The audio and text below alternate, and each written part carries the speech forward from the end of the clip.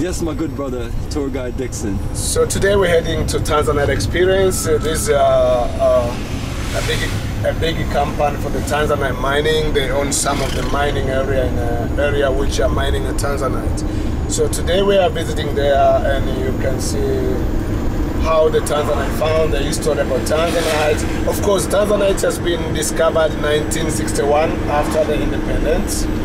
So it's uh, when we had independence and then the Tanzanite was discovered.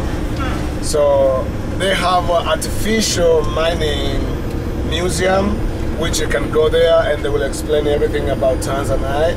And then after this, you go the uh, the room which are doing uh, shaping and cutting, and then into the uh, galleries.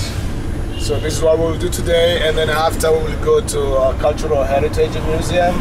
Yeah, also there it's a big uh, gallery with uh, souvenir shops and then also it's a nice place to have a time but also there also they do have some Tanzania as well so you'll see both part of this okay Okay, sawa sawa. sawa sawa Sawa sawa.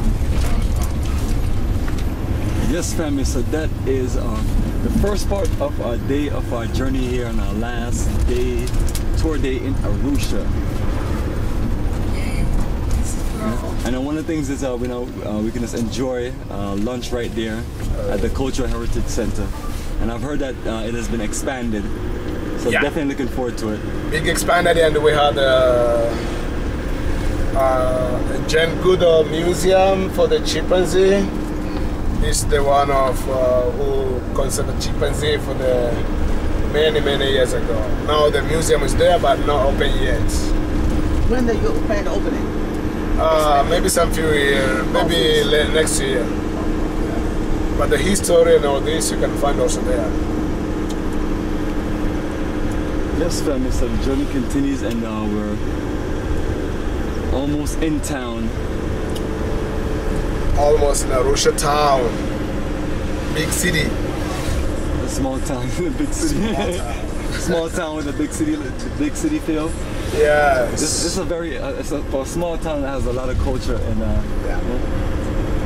so that's what we're gonna experience at the cultural heritage uh, family. You're gonna love this place. The journey continues. Johnny continues.